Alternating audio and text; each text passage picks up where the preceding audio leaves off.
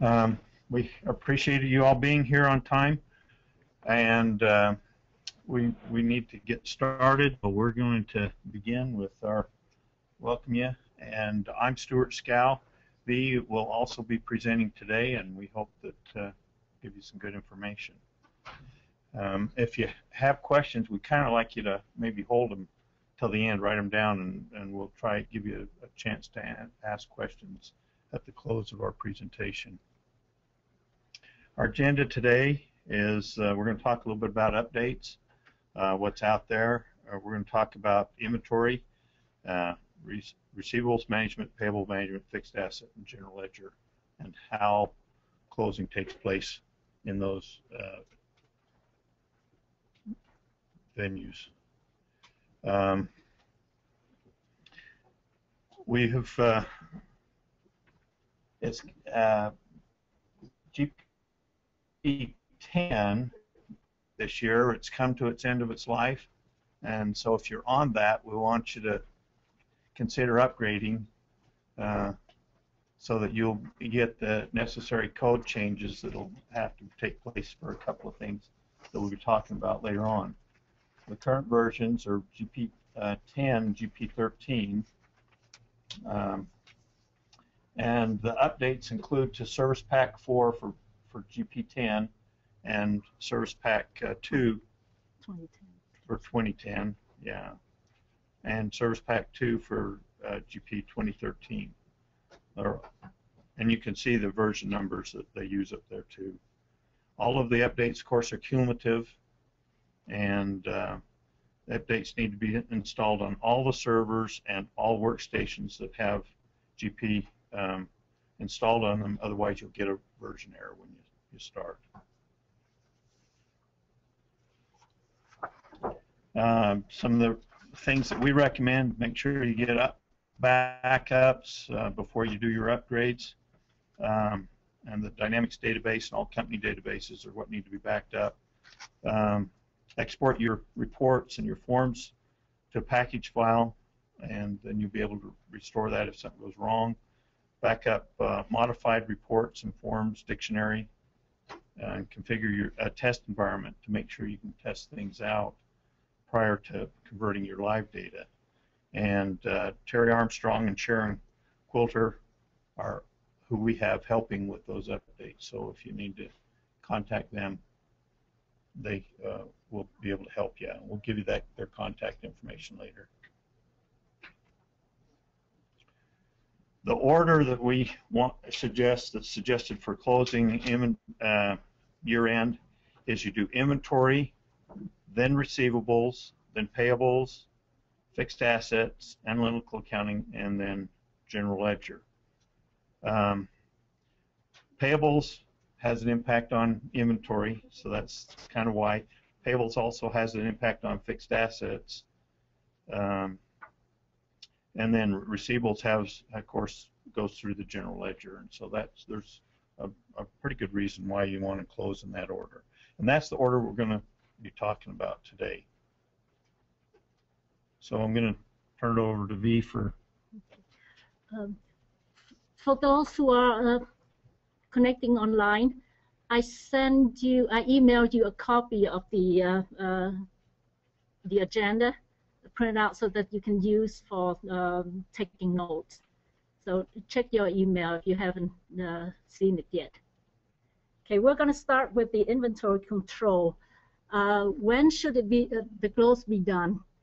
Inventory is not date sensitive, so make sure that you you you do your closing before you start any transactions for the new year. And most of the time, inventory, you have control over uh, that when it should be closed. So uh, that's the thing. Make sure that you do that before uh, posting anything in the new year. Here, what does the year-end close process do? In fact, what it does uh, transfer all the summarized current year quantity, the cost, and sales amount to last year. So uh, you won't see those amount in your your current transaction, and that's there are some reports that those amount affect with uh, kind of like the uh, um, turn, turnover report. So some of those reports you need to make sure that you print before you do the year-end closing.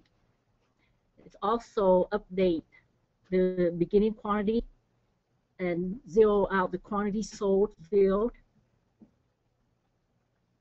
And also at, at the time of closing, you can select to remove discontinued items, remove sold receipt, sold uh, lot attributes, and updates the item standard cost.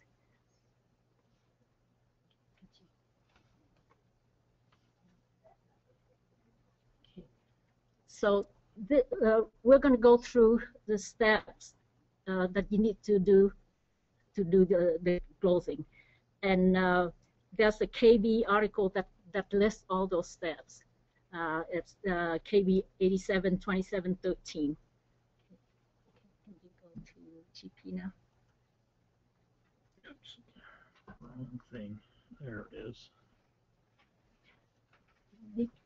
So the first thing that we want to do is make sure that you have all transactions affecting uh, inventory posted for the current year. And uh, those transactions is not just inventory transaction, but they are also uh, SOP transactions, the purchasing transactions, uh, and of course the inventory transactions. The, um, we would want to do some uh, maintenance on those modules before we, uh, we start closing uh, inventory. Yeah. So uh, the maintenance would be reconciling uh, those modules. And uh, there's an order in which you need you want to reconcile those documents. Is of course it goes like if you take you would take an order and uh, and then uh, order the the items in if you you don't have that in stock and then receive it in and then it updates inventory. So the reconcile order would be the same. Uh, you reconcile SOP first then uh, purchasing and then inventory. Um, so the rec to reconcile those we'll start with uh, sales order processing this is where you go to tools, utilities, sales, and then you see two rec see two reconcile. The top one is reconcile that affects receivables. Here we want to select the reconcile remove sales document because that affects the uh, SOP module. And uh, reconcile, do the reconcile here. This, you can also do it periodically uh, as part of a routine. If you see something that doesn't look right in your sales document, what this does is that it takes an order and look at if the order has been fulfilled or uh, transferred, and, and then it uh, it would uh, it would fix it because sometimes you, you see an, an order that's completely fulfilled but it's still in the, the open table, then this would take care of that uh, and send it to history. So that's the first reconcile. And then we go to the purchasing. Again, the same thing, tools, utility, purchasing, and reconcile purchasing documents.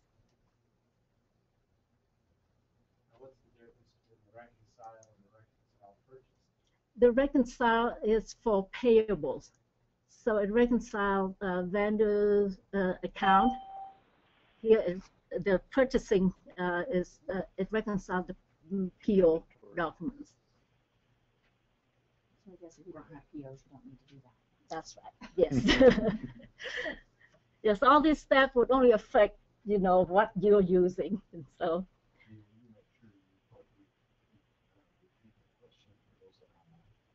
Oh, um, for those online, uh, the question was, what's the difference between reconcile and then reconcile uh, purchasing documents. Uh, the reconcile uh, affect payables. So it, it is the, only the vendor's uh, account, and uh, then purchasing document is for mm, POs. And then, then you're ready to reconcile inventory.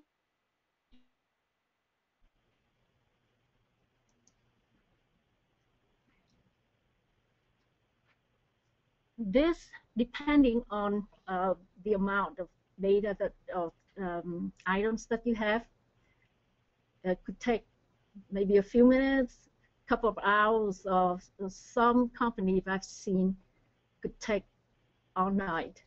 So uh, you might want to do this, uh, let it run overnight. Yes. No, take, uh, yes. Unselect include item in history, otherwise it's going to take even longer. Uh, item history, once you've done your year end on inventory, it takes those items, uh, those transactions into history. So if you uh, exclude that, it only looked at transactions during the current year. So if you hadn't closed inventory for years, your current um, data is still going to be real big. That's one of the reasons why you want to close inventory yearly, beside other Can I ask a reasons. question? All of our inventory is like services, so there are no item quantities to update. How important is that that I do it? Um, The, Yes, the, it's not- the issue, is going to be if something didn't post through completely. And so, uh, you may still want to do this, even though they're, they're not items, they're services, Right. to make sure everything is, is cleared out and posted all the way through. Yes, the, what the reconcile does is that sometimes you look at an inventory item and you see you you see your you available. You didn't you don't have enough quantity available or as the, the numbers you think you should.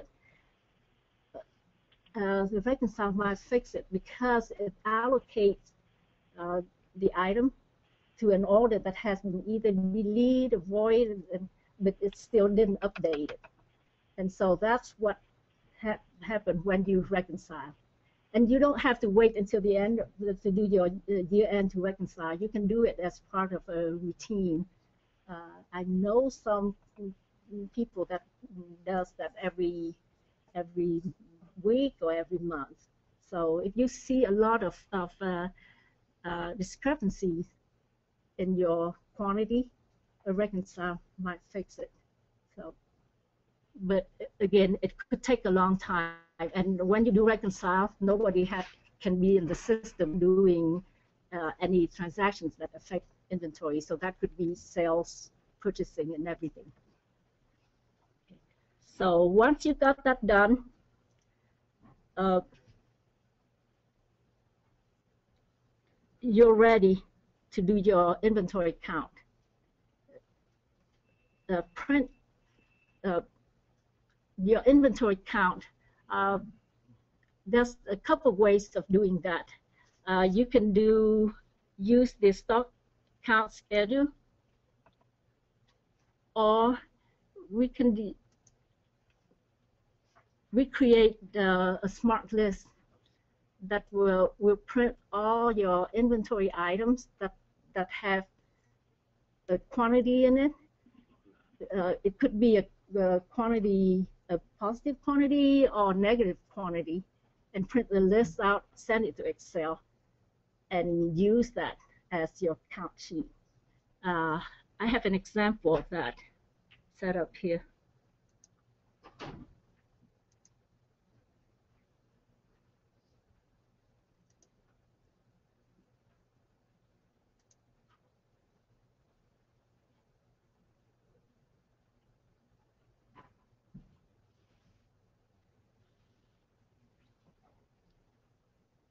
I think I did. Snip this.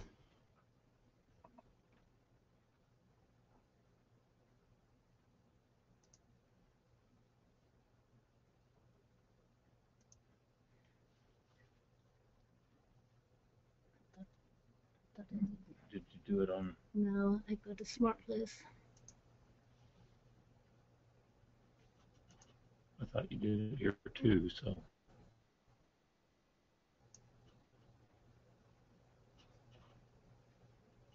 Oh, well. But what would, done- Maybe done right. right right here.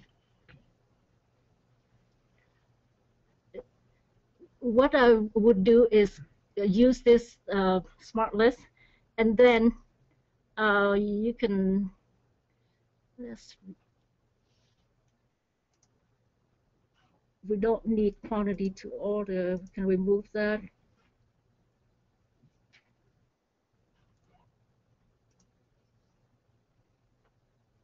We also want the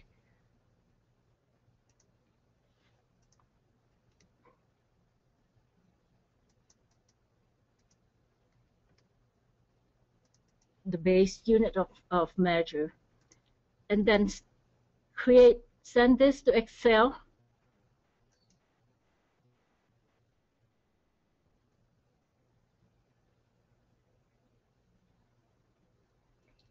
And then just create a uh, a column. This is the quantity the the count column for quantity counted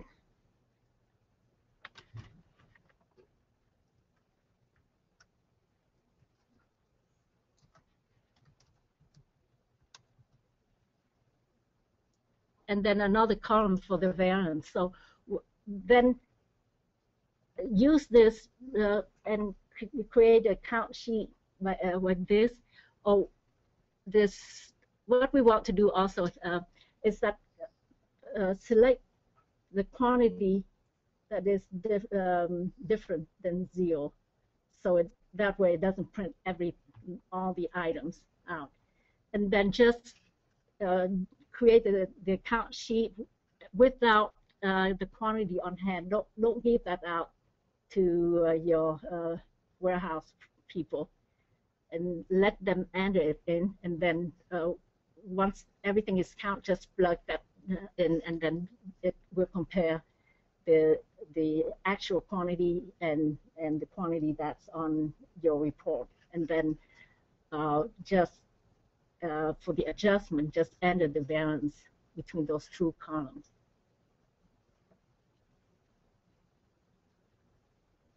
So that's uh, just a, an easy way of doing that without using the, if you're not using the, uh, the count schedule.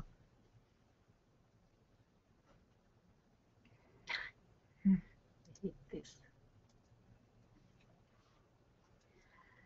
And, so once you, you get that done, then you just take the balance uh, quantity and adjustment. So it would be transaction entry and use the variance instead. And make sure that the, the um, offset, the distribution, the offset account is really the account that you want to end enter that variance in. So always verify it. Usually it's default, but uh, it doesn't hurt to double check. Like go into distribution and verify the offset account so that you know that it goes to the correct account. Uh, once you got that all done, then print your report. Uh, the report we want to pr uh, print is uh, the either the historical st status report or the, the HITB report, HITB, Historical Inventory Trial Balance Report, if you use that. And then use that to reconcile with GL. Make sure that your inventory value matched your GL. And there's any discrepancy,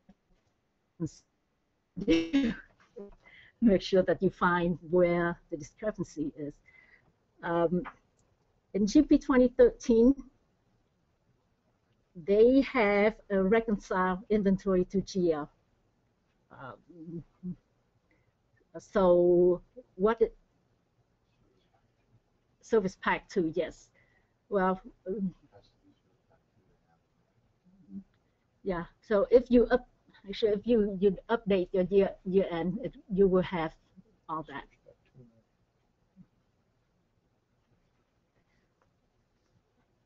And then once it's, it's done, then uh, make sure you print all your uh, the report that you need. One of them is the turnover report, and uh, also maybe the serial number report or the lot number report if you're using them. And then back up, back up, back up. Every time you do closing, I will, don't say enough, always back up before you, you do closing. So, and then you'll be ready to close and it's just under routine year-end close. And this, you can select to uh, remove the discontinued item or sold lot attributes and sold receipt. And um, and also update item standard cost if you're using periodic uh, inventory evaluation. Okay, and so, and just process it. The one thing we want to uh, mention is that for inventory, since reconcile sometimes takes that long, you can you can start that reconcile uh, ahead of time and leave it running overnight so so that you don't have to close that day to do all that and the, the uh, and counting inventory you can do it periodically also so do a cycle count and if that, that count uh, has been uh, accurate then you might not have to to do a final count since it's only like maybe a few days in between the time that you close and you do the, the count. So you can just go ahead. And so, um, so if you're really pre prepare and you reconcile monthly your your GL to inventory, I, I think this is going to be a really sh short process. Okay. Thing. Oops. Now we'll go back to the presentation. And um, she's already gone through much of this with the uh, inventory control year end. But it's part of your handouts so that you'll you'll be able to review them. Now we're talking a little bit about receivables management year end. Um, this uh, should be done um, at calendar year end if uh, uh, the close is, uh, is done for uh, calendar years, and uh, and it needs to be done prior to posting any transactions for the next calendar year. If you're on a fiscal year end close, it should be done at the end of the fiscal year, again prior to any posting of any transactions for the new fiscal year. And uh, part of the reason that that's done is what it affects is some of the year-to-date numbers uh, as it says here in the calendar year, it closes, clears the calendar year-to-date finance charges, moves them to last year. It um, uh, and it does that for the fiscal year as of those period ends, whatever they are. So um, again, the steps that should be taken for closing the year in are post all the transactions, and then you can follow the KB article 857444 on how to uh, what the procedures are, what each step is.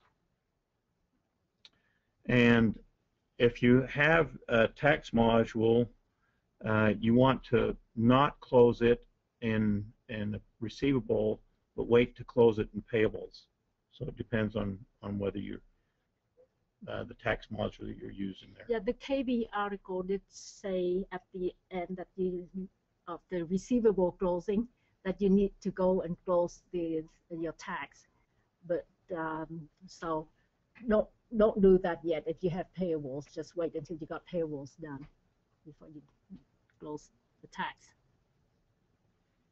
Um, some of the key points to remember: make a restorable backup, and uh, I'll reemphasize what B said is that you do a backup at each close so that you can go back to that prior close if you need to, if something happens. like after each module? So after each module, do another backup. List it as a backup for closing that module, and you'll be able to identify what it is. Um, receivables management is not completely date sensitive, uh, and as there are some date sensitive features, it's best to close on on time rather than wait to close it much later.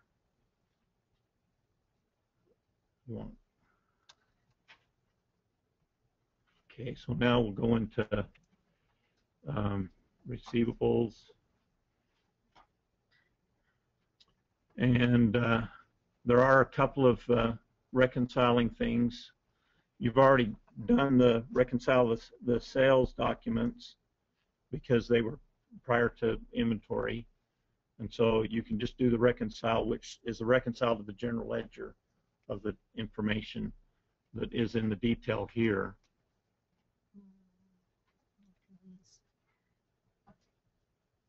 You can add something. Once we get.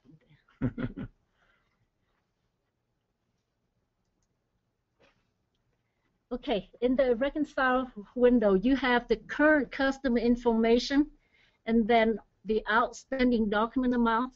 The current uh, customer information, if you look at the the um, uh, the, the account balance, sometimes if you go to inquiry and uh, Behind here, I think. There you go.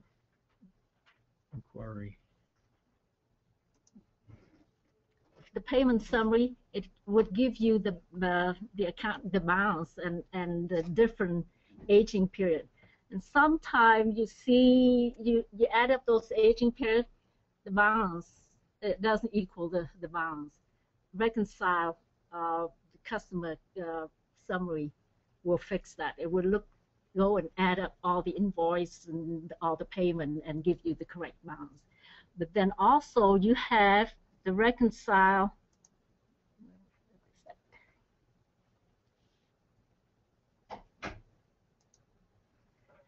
outstanding document amounts and sometimes you have an invoice and uh, it shows that it was applied that the payment was applied to it but then you don't see you, you look at the uh, apply uh, remaining uh, amount applied you don't see any document that was really applied to it.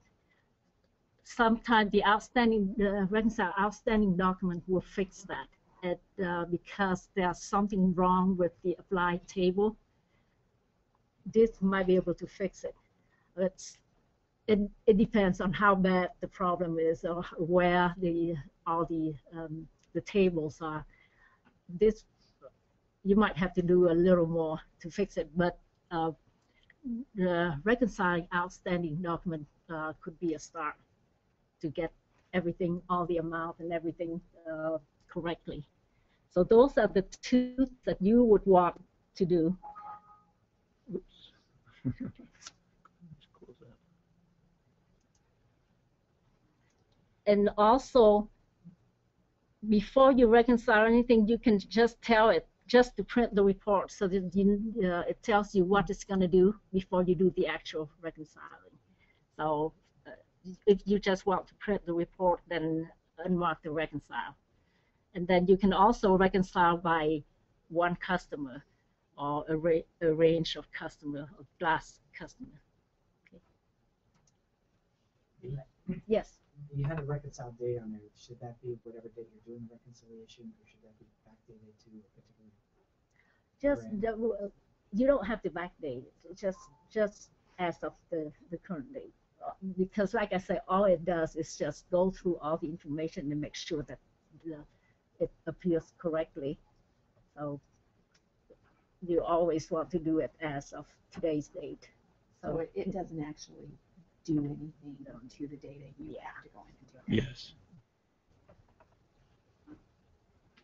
Um, you can actually create a checklist for with the procedures you want to do and make sure you do them in order. And uh, and then of course uh, you do the year-end closing, uh, and it give, gives you a chance to choose all or fiscal or calendar. If your fiscal year and calendar year are the same, do all. If you've got them different, you can and do them differently at the at the dates that are appropriate. Uh, one thing I would like to add, when you do the closing, always check your last closing date, and just to make sure that you're not doing it twice. That, but so for that year, so check it. You see here, there's no last closing date because this this is Fabrikam, and so nobody even went in to bother to do any closing or anything. So. Good point.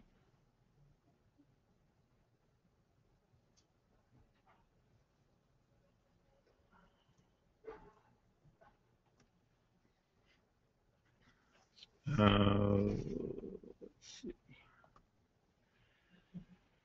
So again, there's some KB articles you can use to follow through, particularly uh, if there's some questions on some things. Um, uh, removing each of these cover different areas. And now we'll switch over to payables.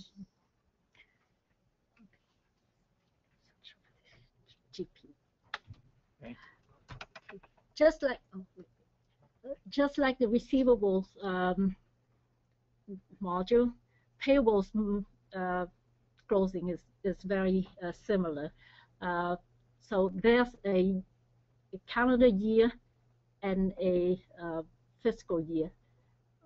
If you have those different, what the calendar year uh, close routine would do is just transfer all the your 1099 uh, amount uh, in the amount since last close window from current year to last year, uh, and the uh, the fiscal year end would transfer everything else. That. So if you don't if you don't have 1099, you might not even need to do the um, the calendar year.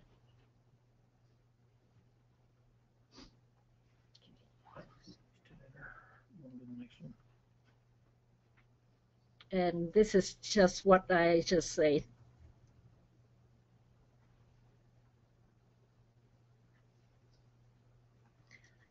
And again, just like receivables, before you you do anything, make sure that all transactions that affect payables are posted. So um, you have uh, receive receiving transactions, you, then uh, that have been things that have been received but not posted. Make sure that you post them. All payables that you save to a batch for that the current year, make sure you post, and you go to uh, series post for that module to do that. And make a back a backup again, backup, and then uh, that uh, KB article will give you step by step information on how to do the closing. Mhm.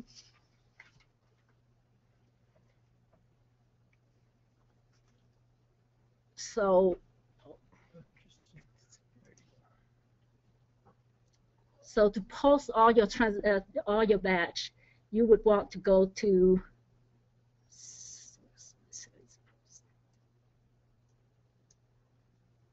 in the purchasing module, go to series post, and that is where you can post everything. Uh, you might want to double check, make sure that you don't the frequency, so that you don't post uh, recurring batch that are for the new year.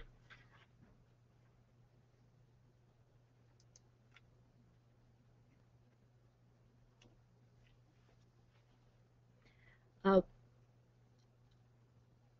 and then you go to uh, again do the your reconcile part of the utility. And this reconcile would be for payables.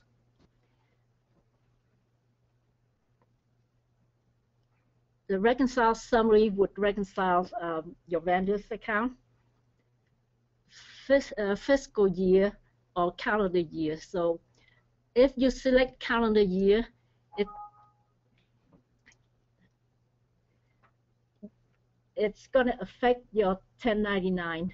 So if you have made any change to 1099, um, I mean manual change to your 1099, doing reconcile here will will get rid of all those change and revert it uh, back to the original. So uh, make sure if you have made change, then you want to do exclude 1099 amount.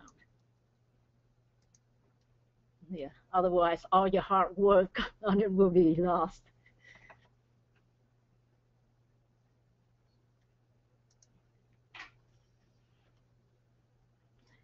And some of the period end, uh, and I hope that you you are doing um, routines period and monthly, like reconciling your payables to GL and, and all of that. So once you got that done, then uh, closing AP is really easy. So we, we always want to deselect, we always want to select, um, to exclude the nine then? Well, no, If you- on- if you only if you have them. made If Right, otherwise all the change, what I, I, will talk about 1099 and, uh, uh, pretty soon on that. Uh, so uh, we're, going to talk about that. But uh, then you can use checklist for your uh, to do your um, period end. So you can uh, start adding a process in here that you, you use for your the month end or year end and, and that. And just go through each of these. So uh, as part of your um, month end routine, you want to make sure that you print all your uh, AP trial balance and, and reconcile and verify that it uh, that it matched your GL amount, just like receivables. And um, if that doesn't match, there is a reconcile to GL the under financial here routines. There's reconcile to GL here.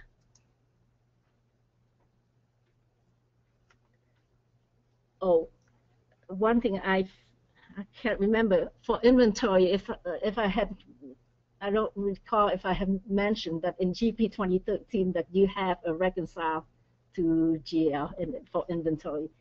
Uh, older versions don't have that, so you have to manually do it. But um, older version have reconciled to GL for AR and AP.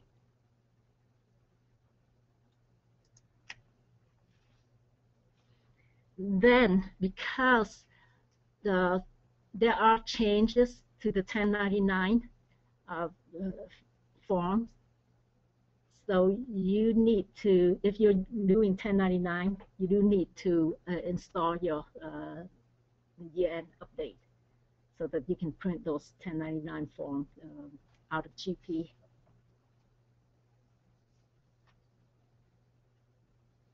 Uh, there's the change to the, the uh, dividend and uh, miscellaneous. It's just some alignment change.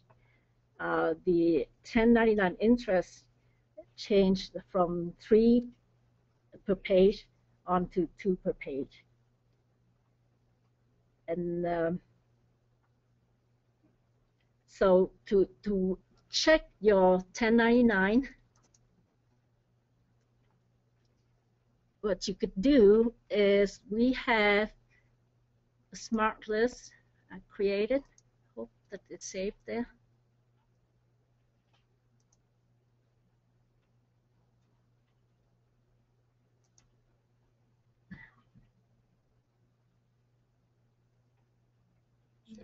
It didn't save. No. Okay, go to the, the, the vendors and then create one where you have uh,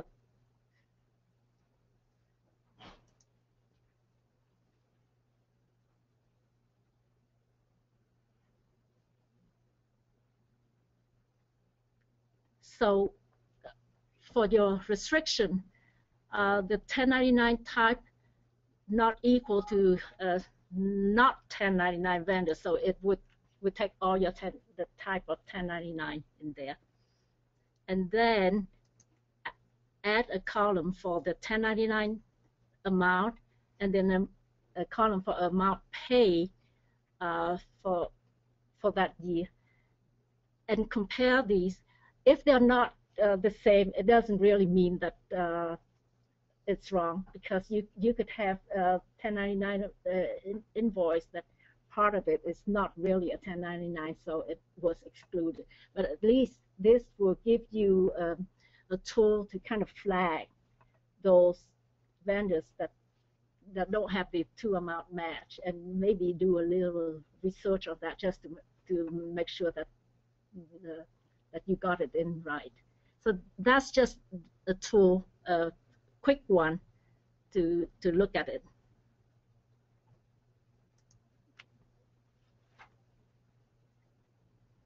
And if you find anything that's a discrepancy that you need to, to fix, you can go, if you have, uh, you're on version older than 2013, you can fix the amount of the 1099 manually by going to the cards, uh, 1099 detail, bring up the your vendor,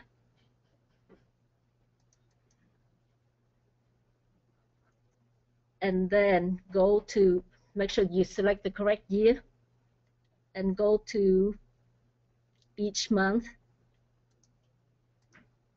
and you can manually change the amount here and then it will print that will print on your 1099 form But this is the part that if you were reconcile, it would switch it back. yes what you uh, have, so that- anything that so maybe what I would recommend is that sometimes you do, do need to reconcile uh, your 1099 because I've seen it uh, on some of our clients that the 1099 amount is completely wrong.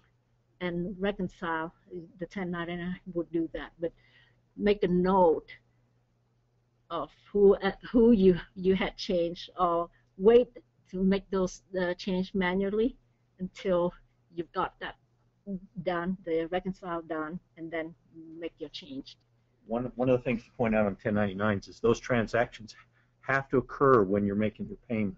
It has to be checked as a 1099 payment. So if, if that's not done, your numbers will be incorrect and you'll have to uh, correct them. And one way is to do it manually, one way, one way would be to reverse the transaction and correct it. But that's a lot more work than just changing it manually. So that's why they're giving you the option there. If if you know right after you got your invoice posted that the 1099 selection is wrong, then void that invoice and and re-enter it correctly. But uh, if you find out after the whole year, then uh, then you can do it this way. Just go in and change the detail, or um, also uh, if the uh, the vendor was never set up as a 1099 then you need to change that vendor as to be a 1099 first before you can uh, uh, select him uh, in that in this window. There's also a utility to change 10 1099, but in version older than 2013, you can only change a 1099 type, one 1099 type to another 1099 type. So if the vendor had never had any uh, transaction that had been posted as 1099, you cannot uh, change it here. Version 2013, you can. There is a selection here from all here that you can change a vendor that had not been set up as a 1099 to one uh, and and transfer make all the transaction for that vendor be, become a 1099 transaction. So that might be a, a reason to update to the GP 2013 among other things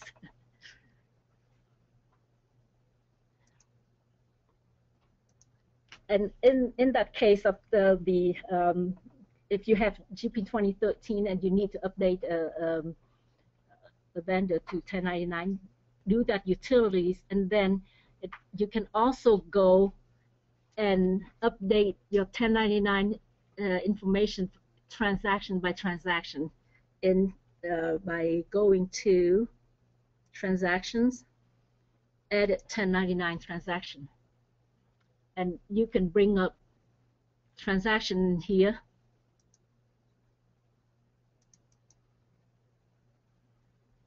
and change the box and the amount. So this is with this is only in GP 2013. But uh, older version, there is a tool, a professional uh, service tool that you can use to uh, update uh, 1099. Question. Yes. If you use that tool, is that, is that affecting, being affected when you run the reconcile or this? No, it, because it goes in and, and it's correct. Yeah. Mhm. Yes, that, that's the, the nice thing. If if you you correct it this way, you don't have to worry about um, reconciling and, and overriding it.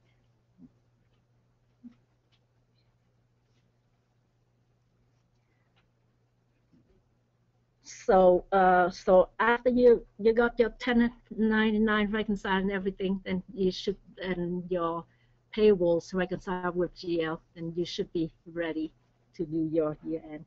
Another thing is that um, if I know with uh, AP, you might have to wait wait until you get all the invoice from your vendors before you can close the year.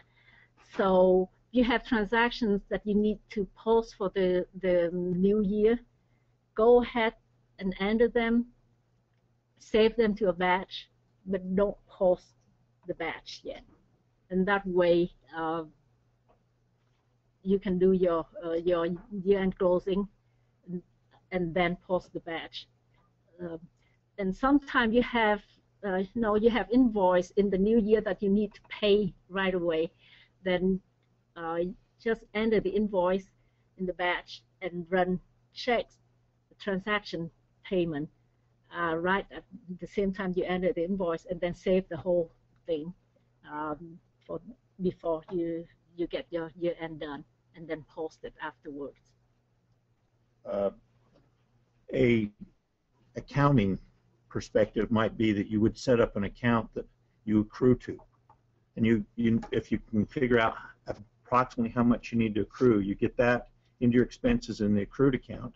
And then as these other invoices come in later on, they could be against the accrued account rather than going against the expenses. And that way you would you won't have your totals right for the vendor because of, of the, the whenever you've got your cutoff, but you can have your you can do your closeout a little bit faster by doing that.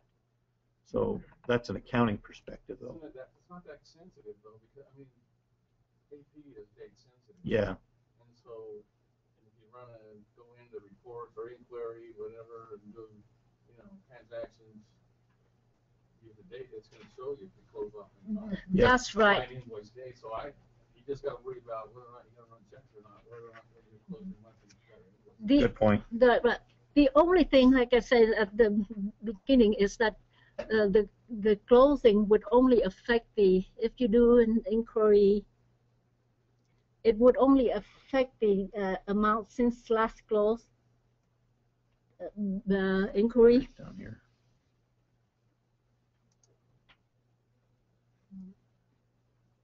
Yeah, you can put a from date to date. Yeah, dates and it's right. sensitive. It'll- it'll- You you can you can look up transaction by date and everything, except uh, the amount since last close affect your uh, smart list.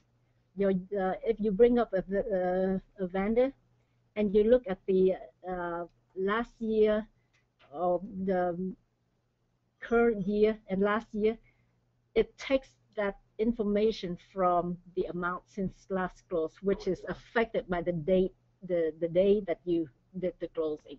And that's why we recommend so that the you can use all the the tools, that your amount since last close is still the same as your fiscal or your uh, your uh, calendar year because you you have a view for fiscal year and the view for calendar year, but the amount since last close is depending on what day, real day that you do the the closing.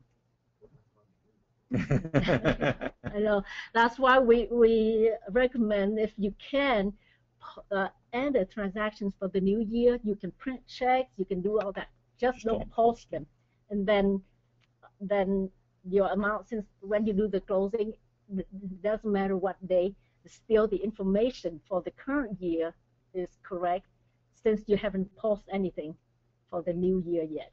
Otherwise, if you had posted things for the new year, your amount since last close for last year would include transaction for the new year that you have already posted before you did the the uh, closing.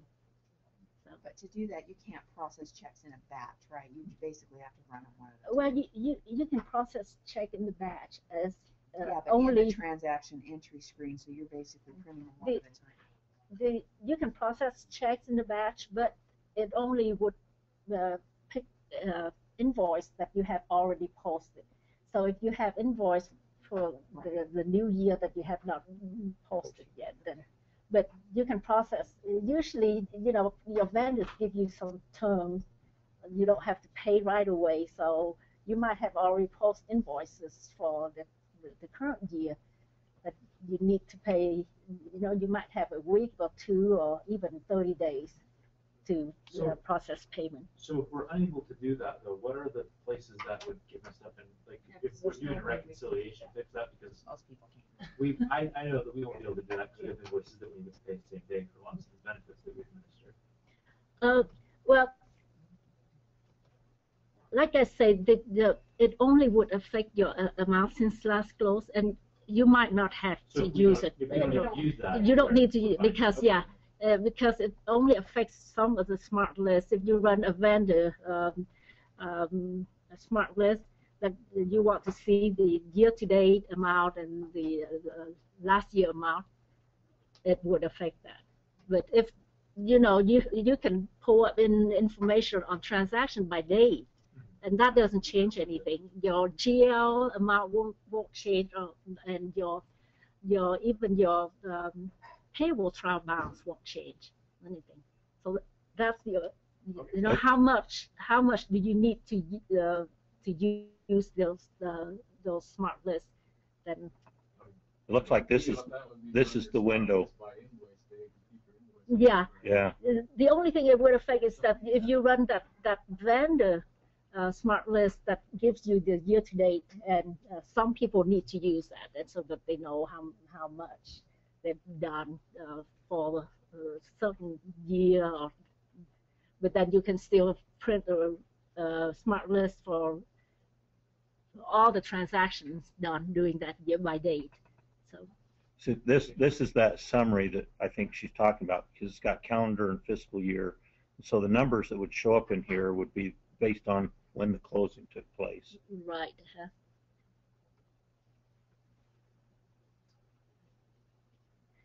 and so when you're ready to do the uh, year-end close, again, it's under routines, year-end close, and uh, select fiscal year or calendar year, or if you the the match, then just select all. Um, uh, print re- report.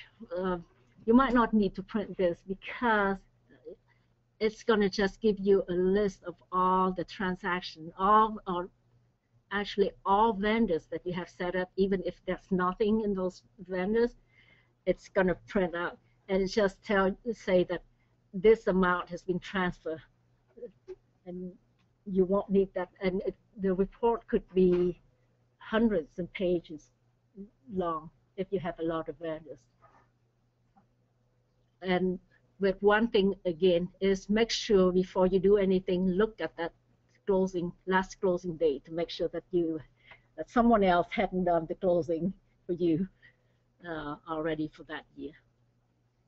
Can I ask one more question? Mhm. So do you need to print ten ninety-nines before you close, or does it matter? No, because you can off, you can print, when you print 1099,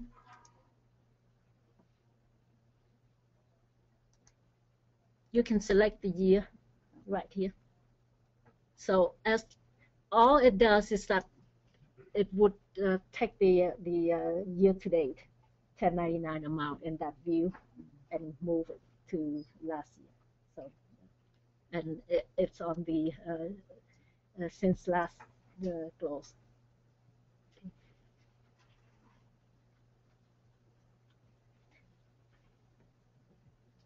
And um, so now that you got, if you uh, do tax, uh, like sales tax and use tax, uh, then this is when you do the uh, tax closing. So, and that closing would be on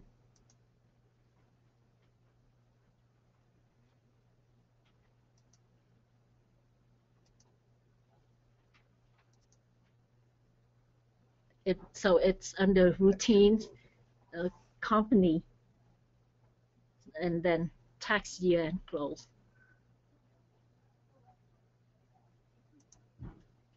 Now, are you saying if you have a separate tax software or separate? No, no, it's, it's you collect, you know, you collect sales tax or uh, you pay use tax and, and you, you need to track that, that. That under what again, sorry?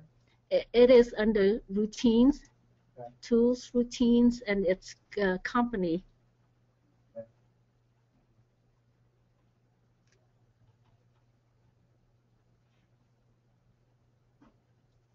I, I can't get it.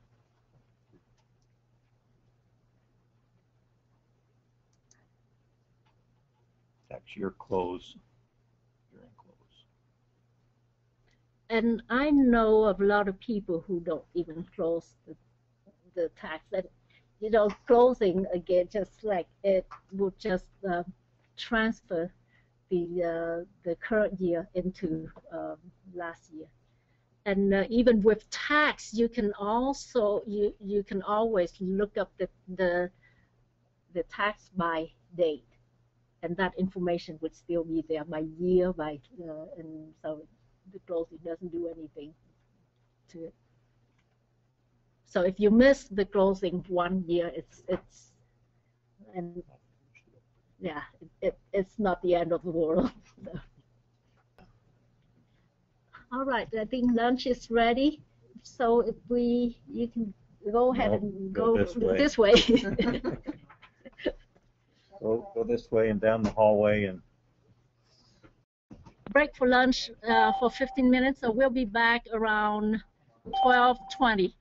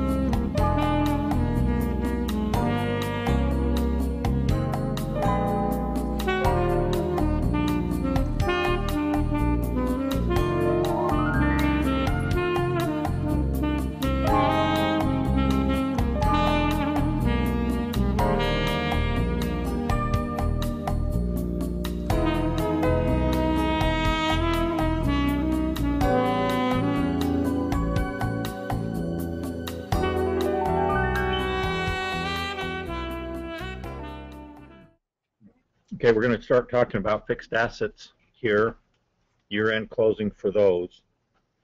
Um, some people don't use fixed assets, but we, I, I think I've found over the years that uh, it's actually pretty useful to use it, track uh, the things that you have got to pay property taxes on and insurance and stuff on. And uh, what the fixed asset module does is help uh, calculate the depreciation so what the year-end closing does for that, um, and, and again, it's recommended to be done after uh, you close payables because some of the transactions can come from payables as you purchased fixed assets. And you can have multiple books, so you can have a, a tax book, you can have a um, uh, huh? Say it again, louder. Corporate book. Corporate book, yeah, I couldn't think of it. AMTs, yep, yep. All of those can be separate. But the important thing to know here is that all of those have to be closed for the year before you can close each book separately, but you have to have them all closed before you can start processing in the new year. Um, every year it seems like there's some changes to uh, some of the fixed asset uh, depreciation deductions that are allowed. Uh, in 2013, there is a, a change in the maximum for luxury automobiles, and we've added the website, the government site that uh, you can learn about that at if you're interested. Um, but that's one, one of the changes that takes place as a part of the, the updates and things. Um, what does the year-end closing do? It uh, takes the uh, year-to-date uh, maintenance amounts and clears them, um, expands the last maintenance window date, copies the quantities over, uh, and then in the the books it closes out the depreciation for the year, and uh, we'll update the cost bases and and uh, depreciable life and those kinds of things for the new year.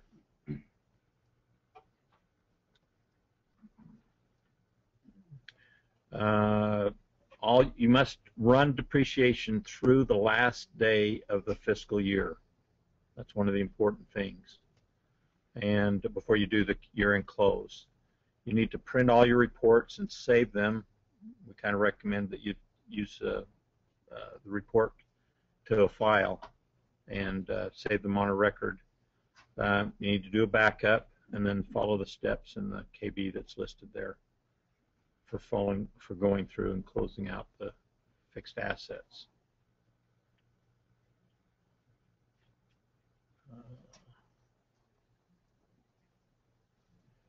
So let's we need to look at that quickly.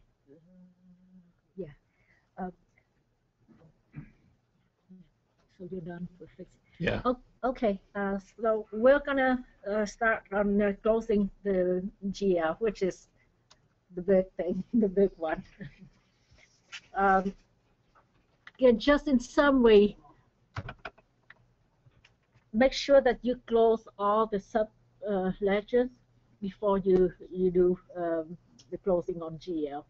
And uh, the sub ledgers, uh, you can close anytime you're ready for for them uh, you don't have to wait until you're ready to close uh, GL the, to do that. So most of the time, people have to get, you know, have to get time to do the the actual uh, GL closing because there's a lot of uh, more things that they need to do before they can they're ready to close GL. Um, So a- again, it gives you the uh, the order in which the uh, subledgers need to be closed. Forward. Enter key. Uh, what does the year-end close process do for GL? Uh, it, the, it's going to take all the uh, P&L accounts and close it out to retained earnings. So um, all the the P&L accounts, the beginning balance for the new year should be zero out. Uh, and then all the balance sheet account are uh, updated. So it brings the uh, the the ending amount as the beginning balance for uh, the new year. The, and then uh, the retained earnings account, account or accounts are updated with the amount from the P&L account. and you can set up so that uh, you you can use just one retained earnings account, or you can close to divisional retained earnings account.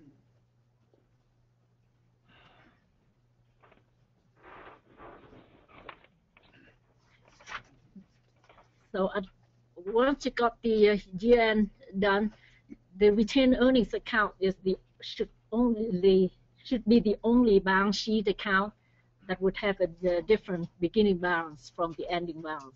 If you see that any of your balance sheet account has something different, then there's might be something wrong with it. And uh, it, all the tra the transactions, the GL transaction would be moved from the GL uh, 20,000 table to the GL 30,000 table.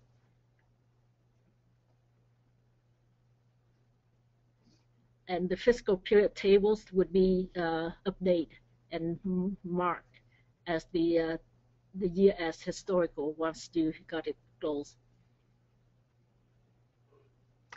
Uh, then all the uh, inactive GL accounts will automatically be removed if you have uh, GP older than uh, 2013. In 2013, you have the selection to keep those inactive accounts.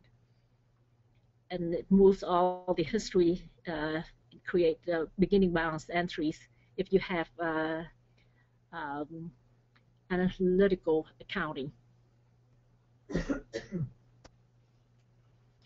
So to close the year, this uh, KB article would give you step-by-step uh,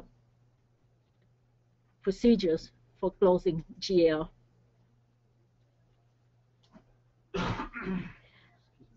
Yes. On the inactive accounts, if you have an account that used to be active a couple years ago and you checked it as inactive, do it remove that too? Because It- you're gonna lose with the.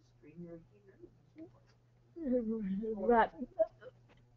To uh, to really remove the in, uh, inactive account, it has to have no balance, no history, not or not on any unposted transaction. So it'll just remove empty. Right. Either without any uh, history either. Sometimes the reason some people uh, it will remove it e- even if it fits all those conditions. But if you have it on the budget, it would still remove it. Uh, like I said, for a version uh, older than 2013, you, you don't have a choice. If it fits all those um, conditions, then it's going to be removed. Some people create those uh, accounts, put them on the budget for the um, next year, but then they don't want anything entered into that account for this year, so they mark it inactive. That those accounts will will be removed if if you don't have GP 2013. So be be careful. Make sure that all the accounts that you have not entered anything on, but you want to keep it, because you uh, then change them before before you do your year end because they will be automatically removed. So maybe you can run a smart list uh, on inactive account only, and then uh, find the ones that you need to keep, and then change the uh, to active.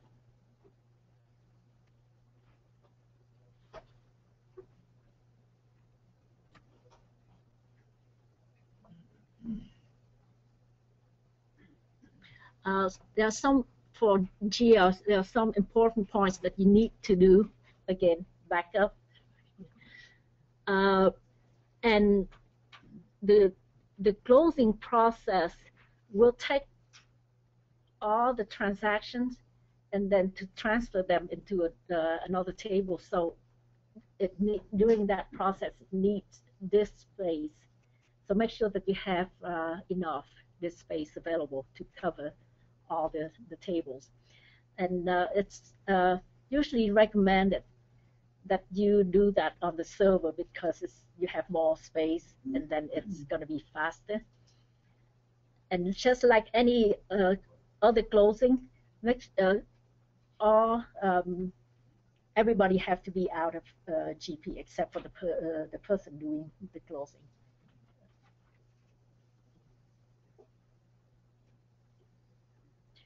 And um, the the year end routine. Sometimes if you look at, at the, it seems like it it stopped around halfway through, and it doesn't. It looks like it's not doing anything, but it is doing something in the background. So don't panic if it seems to hang for yes. I think a comment also to everybody online that if we're on 2013, there is a progress bar. I'm I'm getting I'm getting to that. yes.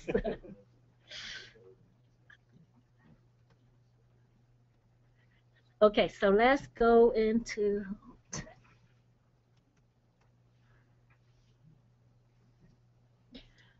um, just like any other um, module, make sure that you post all transactions that you have for the current year. So make sure that uh, uh, sometimes you post and look even look into transactions that uh, uh, are from uh, your um, subledgers because sometimes you close those subledgers, but a transaction for the current year had to be done even after you close them. Make sure that those are posted and then the the uh, the GL batches are posted for those also. One more comment. Yes. Can you uh, show them where the series post screen is? Because are you going to show that? Yes. okay, so I've I've shown the series post for uh, the uh, uh, subledgers, but in financial, it would be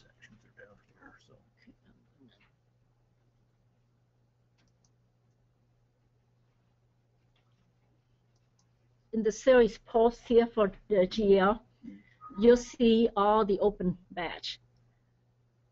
And there's a lot in here for Fabrikam. So make sure that those get posted. Um,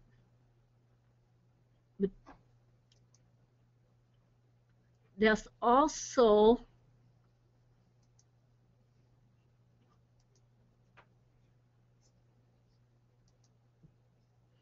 under tools routines, there's a master posting. The series posts pertain to each series. The master posting is all batches from any series will be in here. Uh, so you can post them from from the master posting also. Uh, uh, it's one thing, the master posting uh, window. Sometimes you might want to restrict uh, access to that window so that only people who really know what what that effect would get in there. Otherwise, you know, you could have someone posting batches that not supposed to be posted.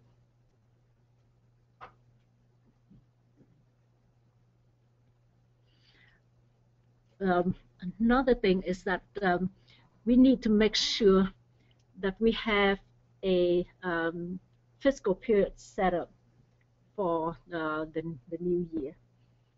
So it's under tools, setup, company,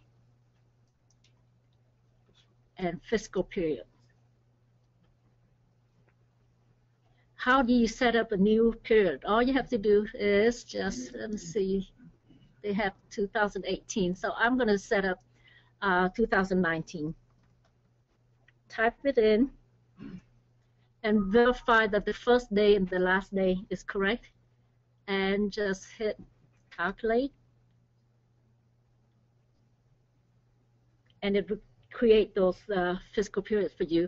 Um, I sometimes I think it's better to change the period name instead of period one, two, and three. Just put if it's uh, a calendar year or year, then put January, February, all that, and change it so that you, you recognize it. And some transaction, you, it shows up and, and that way it's easier for you to really know which month or which period it, it is.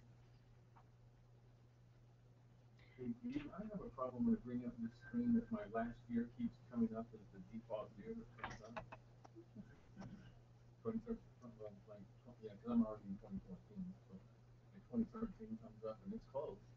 It's a historical year, but it comes up, it's what. Mine does too. But mm. Is it because it's using user date? Is it marked in that, Yeah. do you see it, let me check back in the historical. It's historical.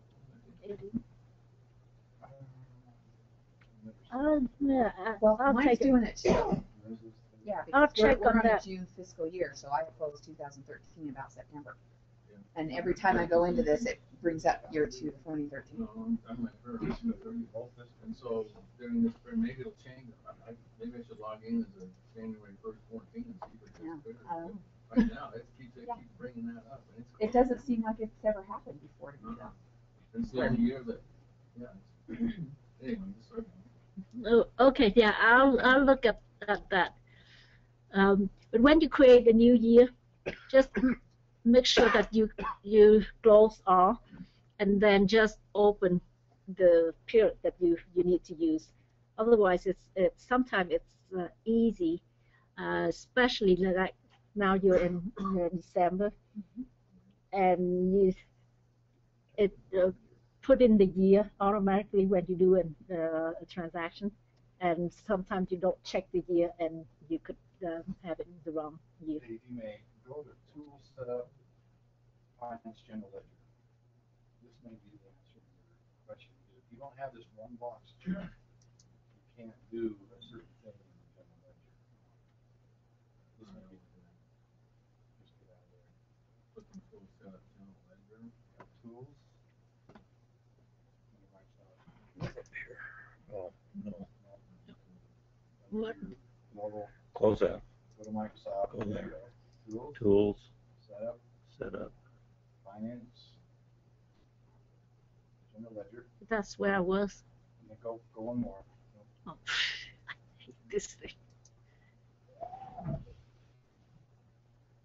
General ledger, right, and under this screen, after you click, Yeah, that's Click it. I there's a know. box. And Mark the historical year. Mark, yeah, it says, uh, posting to history. Allow posting to history, check and see if that's marked. So what that does is it allows you to go back to your historical year and make journal entries. Post them, it keeps both the historical year open, and it pushes the amount to the. Okay, year. uh, You know, I bet you that's it. Actually, I know mine is because You- sometimes You I should forget to do always, that. yeah, you should always have it marked. Could be checked. Anyway, check that out. And that's, that's so. No.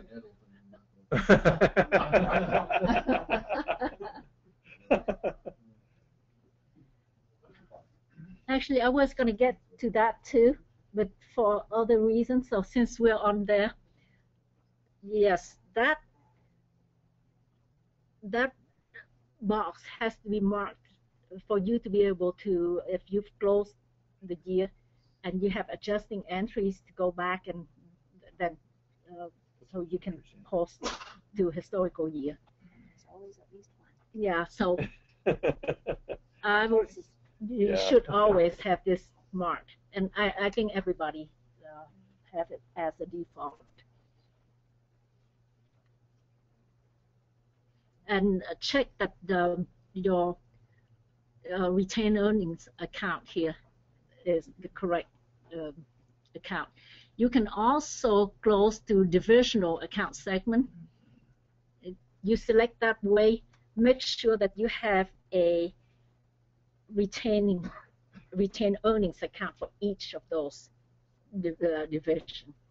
And so the the uh, the account the the account needs to be the same number.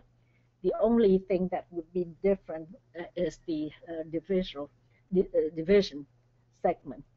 Because if you have that th- them set up with the the account being different, it won't recognize it as a retained earnings account. You can call it retained earnings account, but it's, not going to recognize it.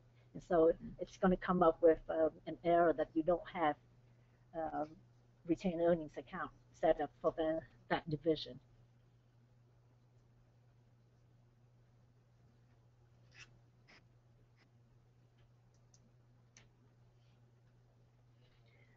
So we once we got everything, um, all the account, the all the batches posted, the most important thing that I think uh, that you need to do before you do the closing is to verify your posting account setup. That your balance sheet account are really balance sheet, and uh, P&L accounts are really P&L, because that's how it it uh, define where your the if those accounts would be cleared into retained earnings or not. So you can call something, uh, you know, if you select the category and it's a P&L, but you don't have it uh, set up correctly, it's not going to recognize it. And so uh, right here, this is where that needs to be verified, checked to make sure that you have the correct setting.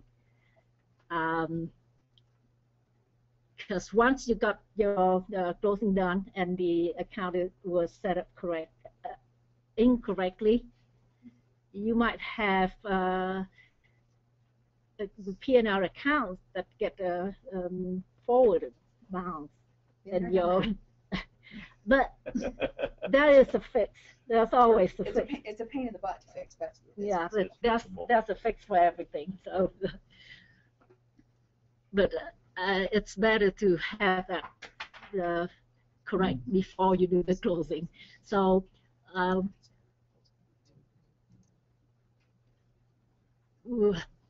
you can create a smart list uh, to verify those posting uh, count, and um, it would be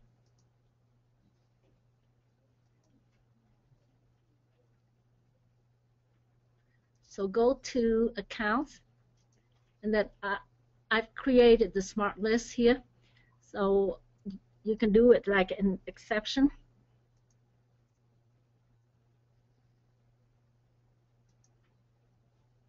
So you you select the uh, the the natural account because uh, that's what determines your your uh, posting type. Uh, usually your all P&L accounts are like for uh, the natural account would be 4,000 and higher. So I'm gonna look uh, and find account that are set up as balance sheet, but that has uh, a number greater than 39999, which is the the highest number that a balance sheet account would be for you. Your charter account might be di different, but uh,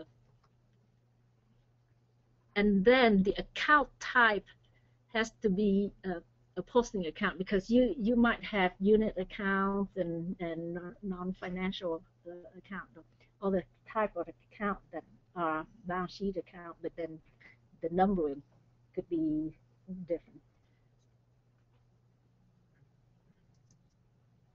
So if I run this, it's going to give me a list of the, those accounts that are that have a number that is not um, the right uh, numbering.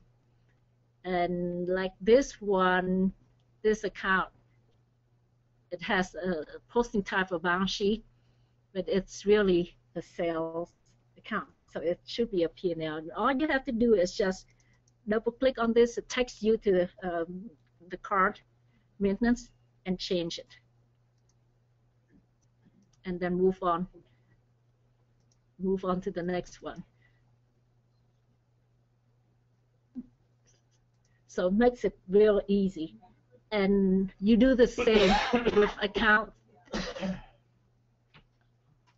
too far do the same with accounts that are set up as P&L account an exception.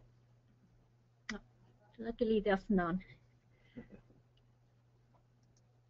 But if anything you do, I think that's something that you need to do every year because you might have set uh, set up something, some accounts. You already checked the previous year.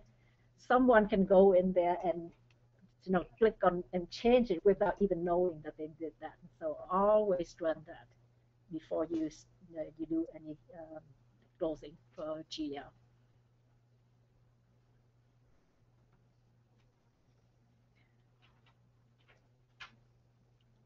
And talking about a type of accounts, you might uh, also have uh, unit accounts uh, that you set up. Those accounts are um, a balance sheet type. It's uh, and up to the version uh, 2013, you you can some of those unit accounts you might not want to uh, forward the, the the balance, but since they are um, balance sheet account, the ending balance will be forward over to the next year as a beginning balance. So if you didn't want to do that, you have to run a script to clear the uh, the ending balance on those unit account uh, from outside of, GP. But with GP 2013, when you set up those unit accounts, you can select at that time whether you want the the, the ending balance to uh, to be forward over to the new year. And So if you have an existing unit account, then do you need to go in and, and change balance? you can uh, existing account uh, you can change it to clear the balance so w- when you do right here now so the uh, unit account right here now you can you have Add selection. Yeah. If you you mark this at the uh, for the account then at the end of uh, when you do the closing it would automatically clear. But if you don't have it marked then it would forward the balance. So you have you have a, a, a choice. She, uh, she just brought up a good point. You don't have that feature unless you're upgraded in 2013. Right. this is gp 2013 only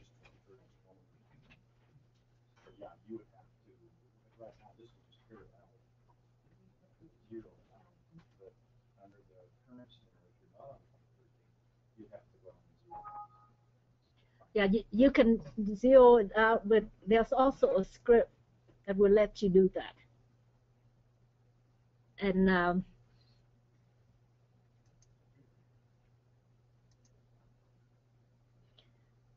but once you upgrade it, you have that selection. So even if you have those accounts set up before you upgrade, you can go in and, and mark to clear them out.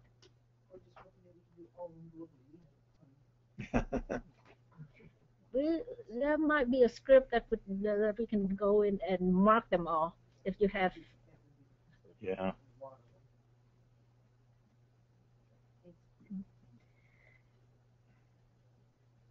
And we talked about inactive account, right? So the, uh, it would be cleared out if it uh, match some conditions. Um, so again, with uh, just file maintenance, the reconcile, uh, you, you so run that.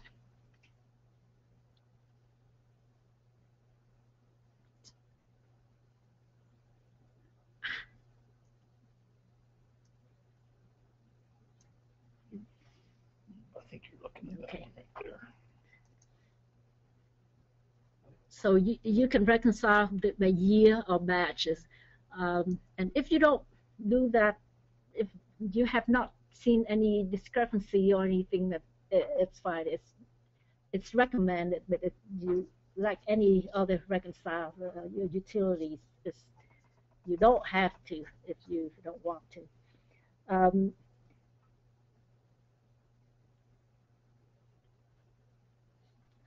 and then uh, you're ready.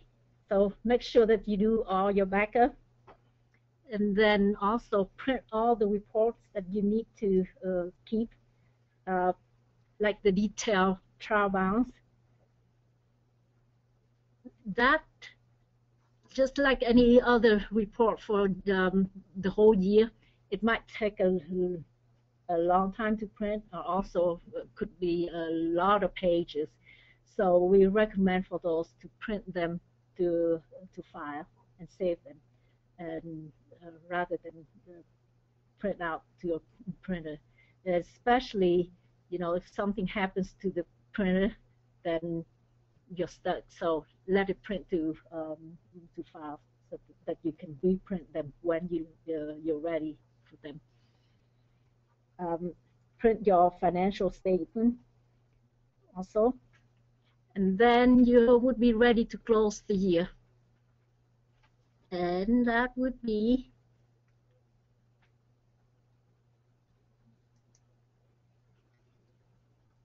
So And that could be after your audit, your year-end audit, and your tax, you know, your. Yes, all- February March. Right, but you still want to to close as uh, soon as you can.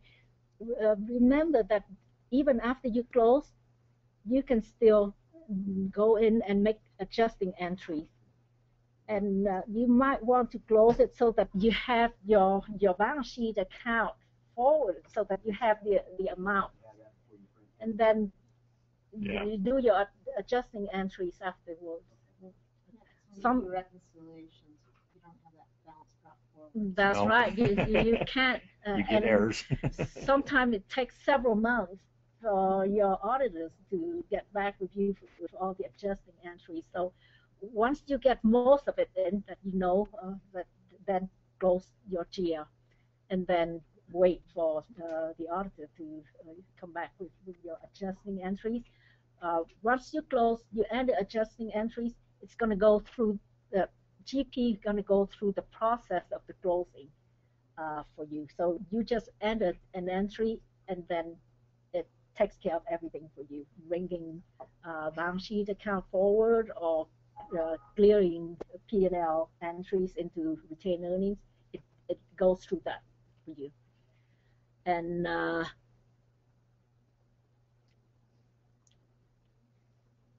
so you have that selection. I talked about the um, main, uh, the inactive accounts in version older than GP 2013, it would automatically remove the inactive account if it, mm, it uh, matched the condition uh, for those inactive accounts. Uh, here you have a choice to maintain. It's not only all of them, but you have a selection. Uh, if you only want to maintain inactive account that are with the that have amounts in budget, or you can maintain all the inactive accounts. So you have two choice here. But it's not, that's not removing history. Uh, it it uh, well history uh, an inactive account you can't have um, history. So if it you have history, it won't it won't remove it. And uh, again one uh, and make sure the the um, the report the closing report make sure that you you save it and uh, so that you have uh, that um, so print print to screen print to printer but also print to your uh, your file and save so that you can have that. And uh, look at, double check your last closing date again. And then you're ready to close. So just close the year.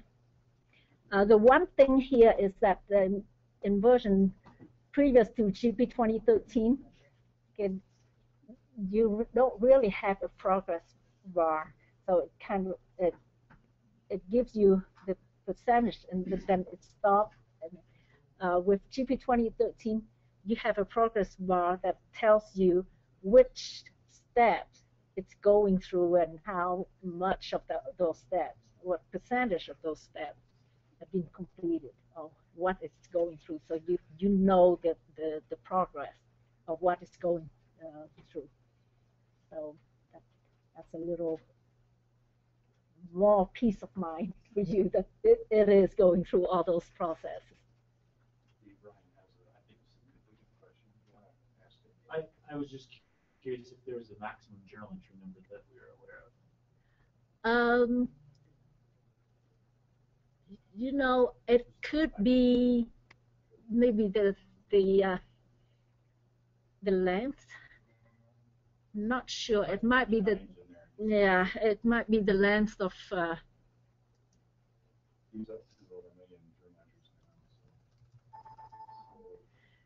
yes. Nine, Nine, nine, ninety nine. It's Yeah. a little ways. I think you're way Plus, you, you, you can you can start the a different journal entry as long as those entries have to be unique if they are in the, the an open year. But if they are in uh, historical year, then uh, right, the has so. When you're entering the trans, and adjusting for after your year's closed, is there anything that indicates that that is a,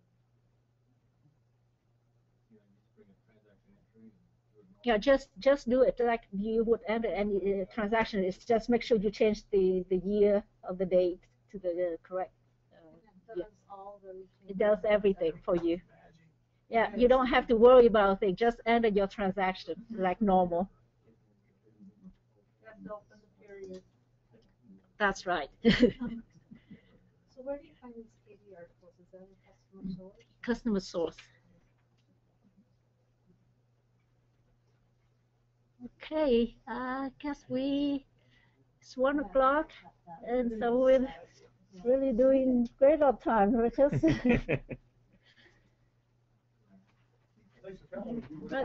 Thank you. Yeah. Uh-huh. Uh -huh. Merry Christmas. Happy holidays.